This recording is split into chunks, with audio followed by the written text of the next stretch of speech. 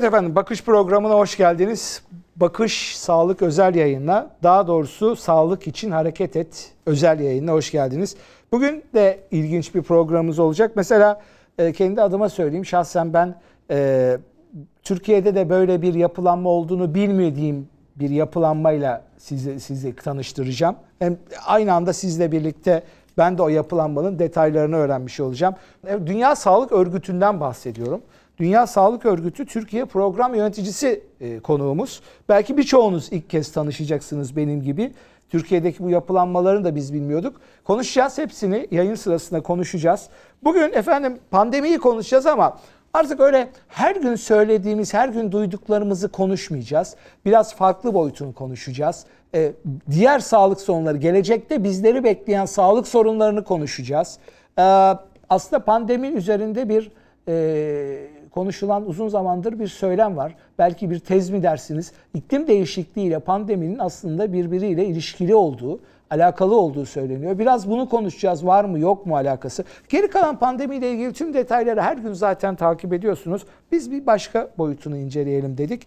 Evet iki değerli konuğumuz var. Ee, birini tanıttım. Dünya Sağlık Örgütü Türkiye Program Yöneticisi Toker Ergüder bizlerle birlikte. Ee, Toker Bey merhaba.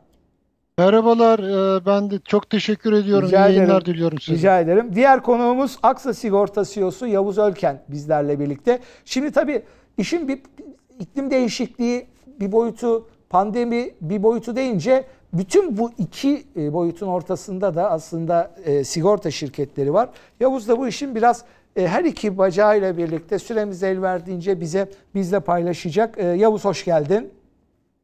Merhaba Noyan. Ee, Yavuz sen Merhaba. Dünya Sağlık Örgütü Türkiye programını Türkiye'de olduğunu biliyor muydun?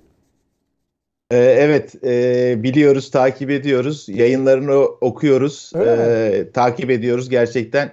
Hem dünyada hem Türkiye'deki bütün yayınları bir de Türkçeleştirerek yayınlamaya başladılar. O anlamda da çok kıymetli bilgi ve çok veri güzel. setleri var e, açıkçası. Şimdi aslında sayın sevgili izleyiciler, sevgili dostlar Yavuz'a biliyor musunuz derken e, bu biraz tabii latife oldu. Zaten Yavuz dedi ki ya sen biliyor musun Dünya Sağlık Örgütü'nün Türkiye'deki temsilcisine ve Türkiye'de olduğu? Vallahi Yavuz çok bilmiyorum dedim. Bu da benim kabahatim hadi. O zaman ben sana söyleyeyim de birlikte bir yayın ayarla bize dedi. İşte bu yayın aslında o vesileyle oldu. Çok güzel. İki değerli konuma da çok teşekkür ediyorum. Şimdi arkadaşlar e, yayına geçmeden önce arkadaşlar e, korona hayatı nasıl etkiledi diye Biraz da klasiğine de bakalım deyip bir e, sokağa çıktılar. Vatandaşlarla görüştüler. Hadi birlikte bir izleyelim. Sonra da sohbetimize başlayalım konuklarımızla. Ya pandemi hayatını nasıl etkiledi? Şöyle bir bir yılı düşün. Neler değişti hayatında? Neler değişti? Ya ben öğrenciyim şu anda. Bir kere eğitimime evden devam ediyorum dolayısıyla. E, o biraz kötü oluyor çünkü çok izole oluyorsunuz yani. Pandemiden önce çok düzenli hareket edebiliyordum. Şu an bir de böyle hantallaştığımı ve böyle insan oturdukça da oturası gelir ya şu an mesela hani eskiden yaptığımın üçte birini yaptığımda böyle aşırı yorulmuş falan hissediyorum kendimi. Mahvetti hayatımızı. Yani bir yere gidelim oturalım diyorsun. Kalabalık yani. Gidemiyorsun. İşte Allah'tan televizyon diye bir şey var. O olmasa yanmışız, öldük yani. E, beni tek bu pandemide en çok üzen ev, bir kere kızıma bile sarılamıyordum henüz. Oğlumu bir senedir, bir seneyi geçti görmüyorum ve iki küçük torunumu. Ee, onları e, özlüyorum. Onlara sarılmak istiyorum. Şimdi şöyle söyleyeyim. 12. sınıfım ben. Bu sene 12. sınıfım. Hani abisi ablaları olacağımız senedeyiz aslında. Hani hiç abilik ablalık yapamadığımız bir sene oldu. Hani okula gitmiyoruz. Evden hep ders çalışıyoruz. Hani e, dışarıya çıkamıyoruz. Futbol maçı yapamıyoruz ve hani bir şeyler yapamıyoruz. Baya hani spor olarak da e, hamladığım bir sene oldu benim için aslında. Ne gibi önlemler alıyorsunuz? Valla evden çıkmamaya çalışıyoruz. Başka yaptığımız bir şey yok. Markete gitmiyorum. Apartman görevlisi var onu aldırıyorum. Ya biraz da psikoloji bizi de etkiliyor değil mi artık? Valla hastanede yatmaktan daha iyidir evde yatmak. Evet efendim, e, sokak yansımaları böyle. Bunlar her gün zaten izlediğimiz ama biraz daha farklı boyutunu arkadaşlar yapmışlar. O yüzden güzeldi, güzel oldu. Evet, e, Noyan Doğan'ın Twitter adresi üzerinden, yine Noyan Doğan'ın Instagram adresi üzerinden ve bakışetabertürk.com üzerinden ulaşabilirsiniz. Sorun ve soru ve yorumlarınızla da katkıda bulunabilirsiniz. Hatta sağlık için hareket et başlığı alttaki özel sağlık programımızda program önerisinde de bulunabilirsiniz. Yavuz izin verirsen Toker Bey ile başlamak istiyorum. Çok e, Toker Bey affınıza sığınarak bir soru soracağım e, sizlere. Siz ne yapıyorsunuz burada? Ve bir sene boyunca evet. ne yaptınız siz? Ee, aslında çok teşekkür ederim. Bu önemli bir soru. Belki bizim de e, birazcık eksiğimiz yani belki birazcık yaptığımız işlerin yanında e, Dünya Sağlık Örgütü Türkiye Ofisi'nin neler yaptığını belki daha çok anlatmamız gerekiyor. E, Dünya Sağlık Örgütü 7 Nisan 1948'de kuruluyor ve 2. Dünya Savaşı şartlarında özellikle uluslararası sağlığı yönetmek ve bir takım kurallar koymak için kurulmuş bir örgüt ve Türkiye'de Dünya Sağlık Örgütü'nün ilk anlaşmasını imzalayan ülkelerden bir tanesi. Daha sonra 1954 yılında Dünya Sağlık Örgütü Türkiye'de yapılanmaya giriyor ve yaklaşık işte Türkiye'de de 50 yıldan fazla bir süredir Dünya Sağlık Örgütü Türkiye ofisi çalışıyor ve en sonda 1990 9 yılından sonra temsilcilik haline geliyor ve daha sonra da Türkiye'de özellikle e, Sağlık Bakanlığı ile beraber pek çok e, projeler e, yürütüyor. Ama tabii özellikle bizim de faaliyetlerimiz 2007 yılından sonra e, daha da arttı Türkiye'de. Özellikle bu Türkiye'nin yürüttüğü duman sava sahası, tütün kontrolü e, projesiyle beraber e, biraz daha görünür hale geldik ve zaten Dünya Sağlık Örgütü e, Birleşmiş Milletler'e bağlı örgütler içerisinde daha çok e, normatif bir örgüttür ve e, ülkelerle beraber çalışır ve genellikle de ülkeler için bir takım rehberler hazırlar, bir takım ortak faaliyetler yürütür. Ama şu anda bizde tabii son bir yıldır faaliyetlerimiz daha çok bizim de Covid-19'a siz nasıl, odaklanmış siz nasıl, durumda ama ya bu sürece yani bu pandemi sürecine siz Türkiye'deki Dünya Sağlık Örgütü'nün bir e, program yöneticisi olarak ya da Türkiye temsilcisi olarak nasıl dahil oldunuz? Neler yaptınız? Bir iki cümle onları rica edeyim sizden.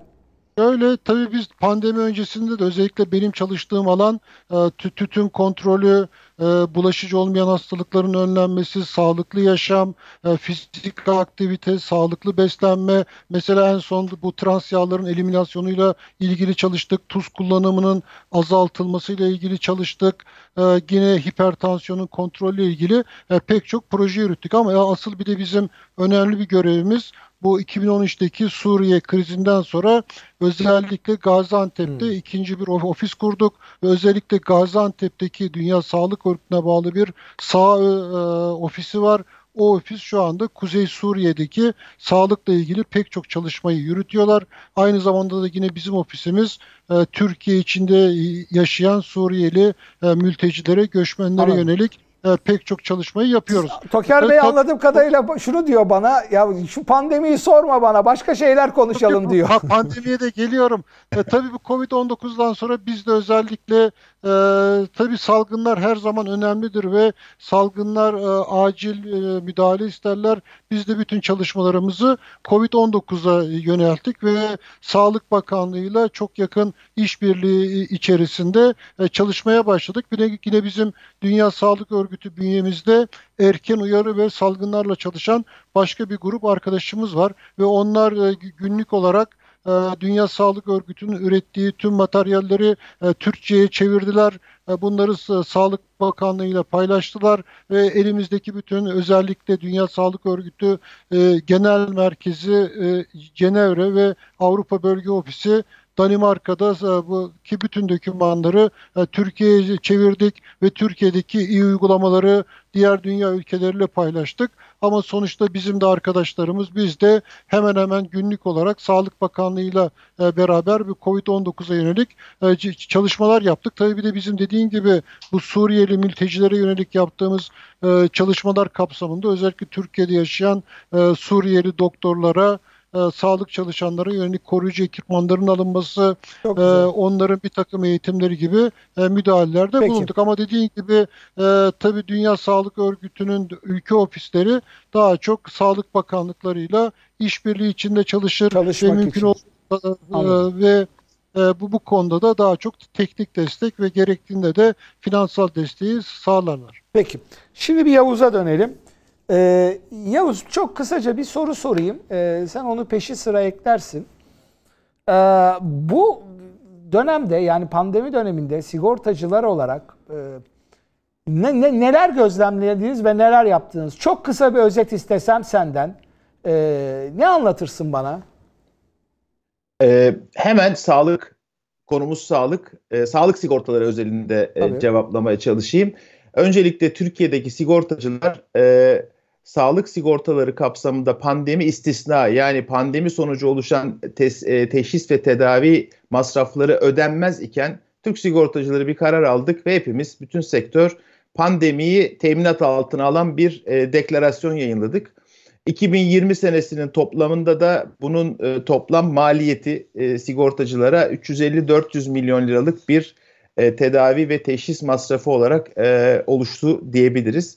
Bu sektörümüzün aldığı çok önemli bir e, açıkçası karar idi. Daha sonrasında sağlık sigortalılarının ihtiyaçları değişti. E, bu anlamda da e, özellikle teletıp dediğimiz metotlar artık evet. hayatımıza girdi. Bunlar ilerleyen programlarda eminim çalışıyor arkadaşlar biliyorum e, kurguda. E, bunları da değerlendireceğiz ama en önemli başlık bu oldu. Özellikle uzaktan e, görüntülü tedavi, teşhis, e, muayene e, veya yazılı e, tespitler, e, ikinci görüşler, evde bakım gibi hizmetler gelişti sigortacılığın e, ekosisteminde e, özel sağlık kuruluşlarıyla beraber.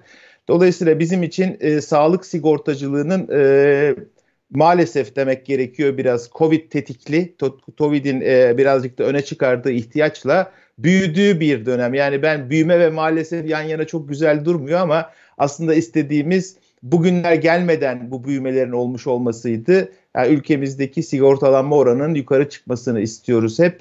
Yaklaşık %4-5 seviyesinde özel sağlık veya tamamlayıcı sağlığın toplamındaki sigortalanma oranı. Dolayısıyla bizim açımızdan, e, sektör açısından e, farkındalığın çok yüksek olduğu bir yıl yaşadık. E, sağlık sigortacılığı özellikle tamamlayıcı sağlıkta 2 milyon seviyelerine geldi. 1 milyondan 2 milyona çıktı. Yani sigorta satın alma e, oranı olarak baktığımızda 15 aydaki dönüşümdür bu e, diyebilirim.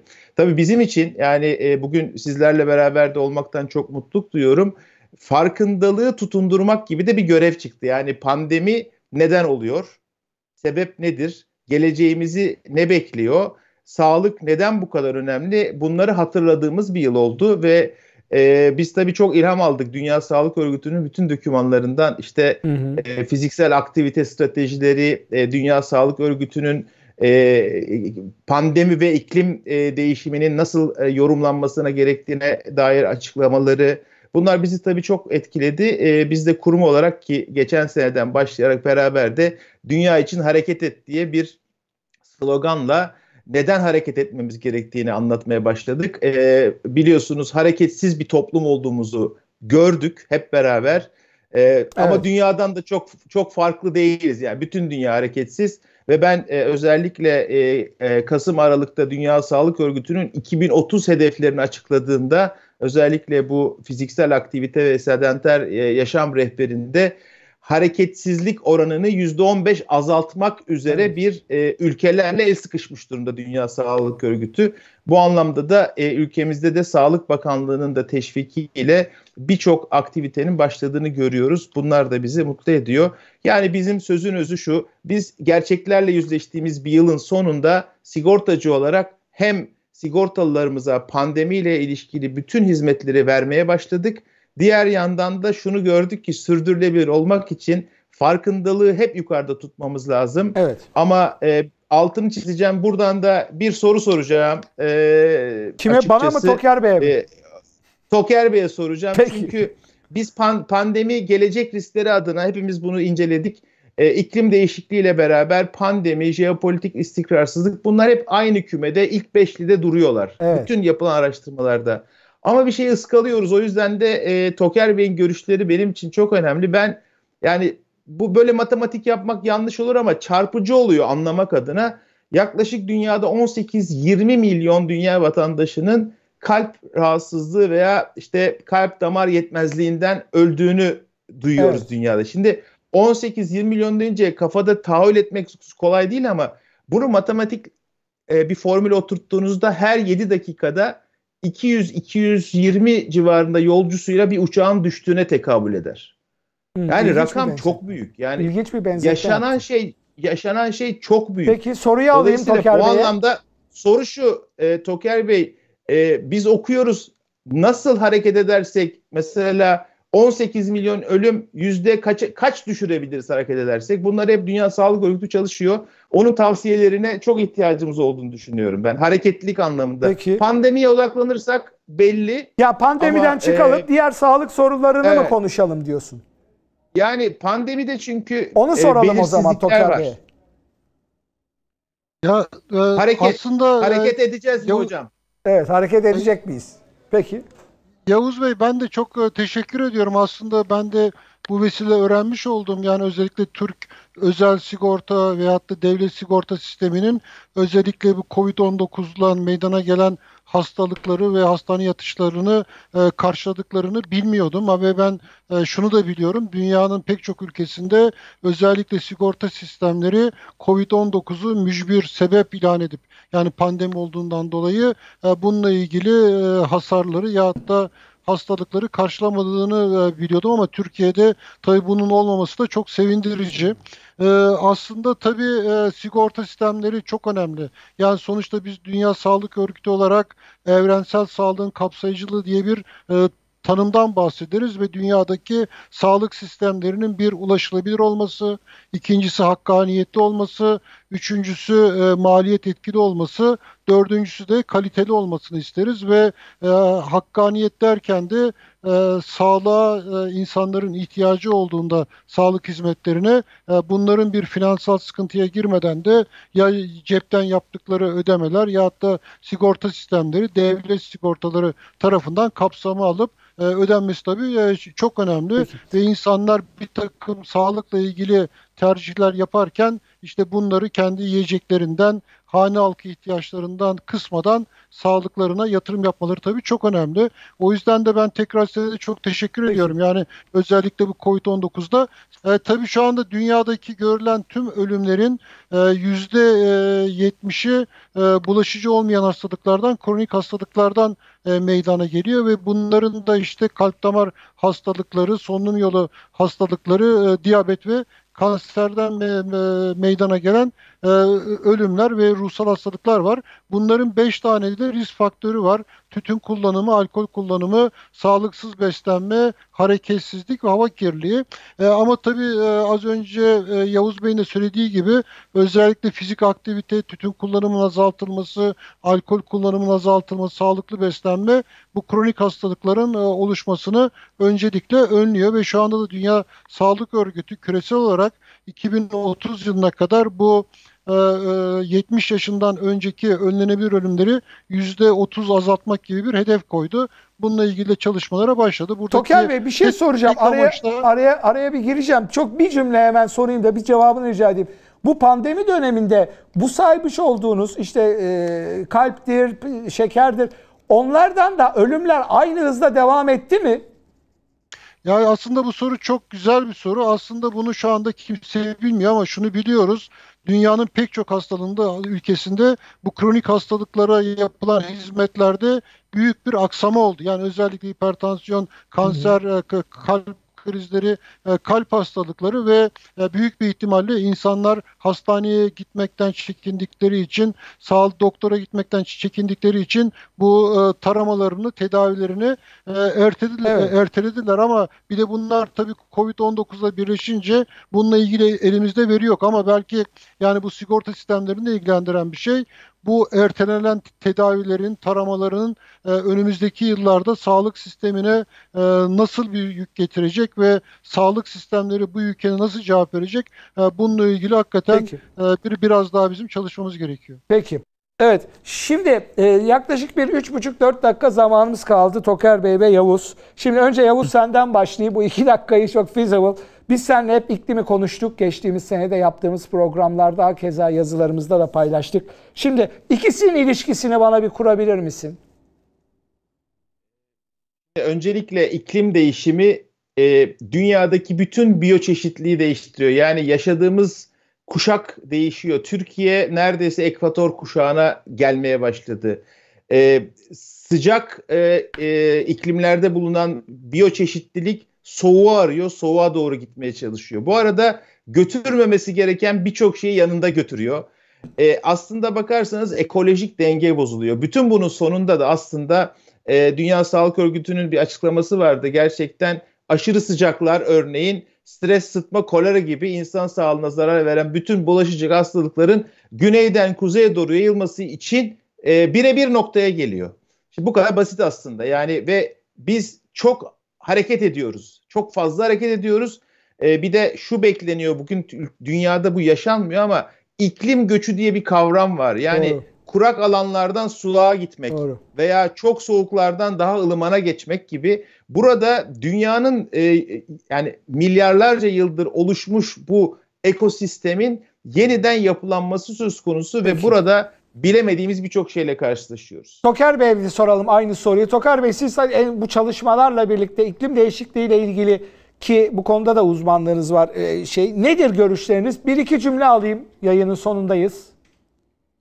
Ya, tamam e, çok kısa olarak özetlemeye çalışayım. Aslında bizim iklim değişikliğinin insan sağlığına etkisini dört grupta biz inceliyoruz. Bunun bir tanesi artan sıcaklar, ikincisi yükselen de, deniz seviyeleri ve göç. Az önce e, Yavuz Bey'in de dediği gibi şu anda dünyadaki dünya nüfusunun yaklaşık yarısı denizlere 60 kilometreden daha az bir e, mesafede yaşıyor ve bu iklim değişikliğine bağlı denizlerin yükselmesi özellikle önümüzdeki yıllarda büyük göç dalgalarına sebep olacak. Üçüncüsü tabii dünyada artan karbondioksit e, düzeyleri ve daha şiddetli hava olaylarına maruz kalmamız ve bunun sonucunda tabii bu vektör ekolojisinde değişiklikler de bekliyoruz. Özellikle bu sıtma gibi işte Ebola gibi vektörlerle bulaşan bazı hastalıkların havaların ısınmasına, iklim değişikliğine bağlı artması dünyada beklenen bir şey. Tabii bir de bu özellikle su kalitesinin e, düşmesi ve insanlara yeteri kadar temiz su sağlanamasa bağlı da e, pek çok işte kolera gibi, ishal gibi hastalıkların artması hı hı. önümüzdeki yıllarda bekleniyor. Peki. Yani evet aslında biraz e, karamsar bir tablolar çizdik ama bunlar da gerçeklerimiz. Yavuz son cümleyi de sana bırakayım ve öyle kapatayım. Sonra da Tokar Bey'le teşekkür ederiz birlikte. Efendim, Valla ben e, program keşke uzun yapabilsek ama keşke. kısa bir umutlu da bakalım. Peki. Programı olumlu kapatalım. Peki. E, haftanın 5 gününde günde 30 dakika yürüyüş yapabilirsek kalp damar hastalıklarına yakalanma riskimiz %19 düşüyormuş. Haft ya bu düşüyormuş dediğim uluslararası araştırma, Dünya Sağlık Örgütü araştırmaları. Peki. Haftanın en az 4 günü her gün 30 dakika yürürsek diyabet riskini %60 azaltabiliyoruz. Yani e, biz olumlu taraftan baktığımızda biraz elimizde hareket edersek e, hareketin karşılığında biz ödülü alıyoruz insan sağlığı olarak. Bu arada yine e, güzel bir sürpriz hazırlamış arkadaşlar. Sabahleyin e, bunu keşfettik hep birlikte. E, Türkiye'de bir e, web sitesi var Sağlık Bakanlığı'nın. E, onu e, sanıyorum yansıtacaklar ekrana. Şu anda ekranda fiziksel, evet. Fizikselaktivite.gov.tr İnanılmaz keyifli. Şöyle keyifli çocuklara kadar e, uzanmış bir e, eğitim seti var. Online her şey görülebiliyor. E, hareket et dediğimizde Dünya Sağlık Örgütü'nün de bütün öner önerileri şu. E, çocuk yaşta, küçük yaşta başlamak zorundayız sağlıklı evet. olmaya. Son veriyle kapatıyorum. E, çok çarpıcı bir e, yine analizi görmüştüm sabahleyin. 2-5 yaş arası çocuklar günün 3.4 saatini televizyon, bilgisayar, internet başında geçiriyor. 6-11 yaş çocuklarımız yani bu pandemiden ayrı yapılmış bir araştırma. Pandemide bunu e, yargılayamayız. Ama 6-11 yaş çocukları günün 6 saatini televizyon ekran karşısında veya işte bilgisayar karşısında. Çocuklarımıza hareket etmeyi küçük yaşta öğretmemiz evet, lazım diyorum. Herkesi de dünya için hareket etmeye, karbon salımını azaltmaya ve kendi sağlığı için hareket etmeye çağırıyoruz. Peki çok teşekkür ediyorum. Gerçekten çok e, yani süre yetmedi ama önemli noktaları paylaştık. Benim önerim hem Yavuz'a hem de Toker Bey'e biz bu programı bir daha e, tekrarlayalım. Tekrar bir bir araya gelelim. Biraz daha derinlemesine konuşalım diyorum. E, Yavuz çok teşekkür ediyorum. Toker Hocam çok teşekkür ediyorum. Ağzınıza ben teşekkür sağlık. ederim. Çok mersi, çok teşekkürler. Yavuz çok teşekkür çok ediyorum. Çok teşekkürler. Görüşmek üzere. Sağ, sağ olun. Evet efendim. E, gerçekten dinamik bir program oldu. Güzel bir program oldu. Bilmediğimiz şeyleri öğrenmiş olduk. e, bu vesileyle. E, siz de eminim keyif almışsınızdır. Ben bu bu serilere yani bu tür e, sizlerle bu bilgi paylaşımını e, paylaşmaya önümüzdeki yayınlarda da e, devam edeceğiz. E, hatta sürprizlerimiz de var. E, Sağlık Bakanlığı'yla da birlikte hareket etmek istiyoruz bu konuda. O yüzden hani bizi takip etmeye devam edin diyoruz efendim. Bir başka programda görüşmek üzere. Hoşçakalın.